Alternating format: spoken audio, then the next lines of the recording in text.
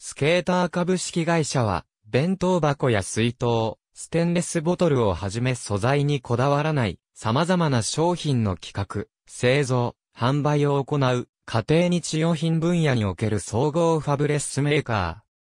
本社所在地は奈良県奈良市。元は社名に万年筆とある通り文具メーカーであったが、後に現在までに至る食品容器メーカーとなった。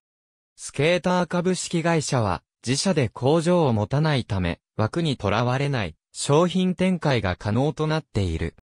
また、株式会社サンリオをはじめ、株式会社ポケモン、小学館集英社プロダクション、タカラトミー、ウォルトディズニージャパン、スタジオジブリ、東映アニメーション、NHK エンタープライズ等のキャラクターの、版権元との結びつきが強く、供与された版権を用いて世代にとらわれない、多種多様な商品展開を行っている。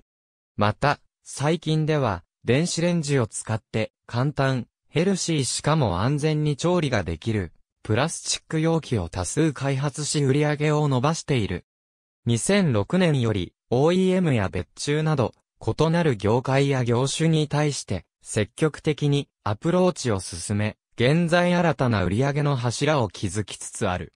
お弁当箱、水筒、ステンレスボトル、保温ジャー付け弁当箱、電子レンジ調理容器、シリーズ、キャラ弁作りをお助け、グッズ、親子で作る成果シリーズほか、料理研究家、千葉町子監修の元スケーターが商品化。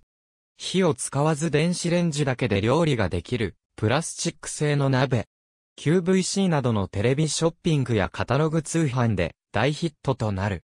千葉町子考案のクックゼン専用レシピ集はすでに3冊が刊行されている。全国の主要量販店やスーパーマーケット、ホームセンター、専門店など。ありがとうございます。